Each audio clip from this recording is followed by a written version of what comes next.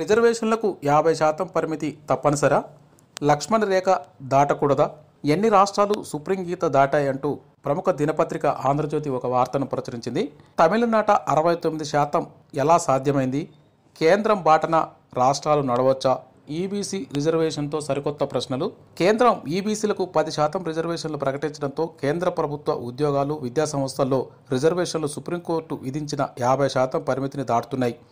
ఇప్పటికే పలు రాష్ట్రాల్లో రిజర్వేషన్లు యాభై శాతం దాటేశాయి. కేంద్ర ప్రభుత్వం ఇచ్చిన ఉత్సాహంతో మరిన్ని రాష్ట్రాలు ఆ పాటను పయనించే అవకాశం ఉంది. భారతదేశంలో యాభై శాతం రిజర్వేషన్లు దాటిన రాష్ట్రాలు ఈ విధంగా ఉన్నాయి.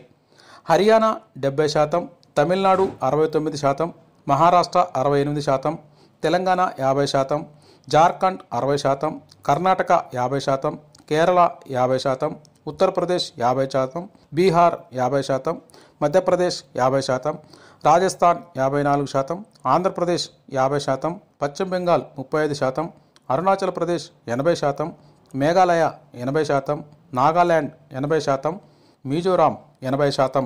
ఇప్పటిదాకా రిజర్వేషన్లకు కుల సామాజిక విద్యాపరమైన వెనకపాటుతనం ప్రాతిపదిక ఉంది. కేంద్ర ప్రభుత్వం తాజా నిర్ణయంతో రాజ్యాంగంలో ప్రస్తావన లేని ఆర్థిక వెనకబాటుతనం కూడా రిజర్వేషన్లకు ప్రతిపాదిక వచ్చి చేరుతుంది.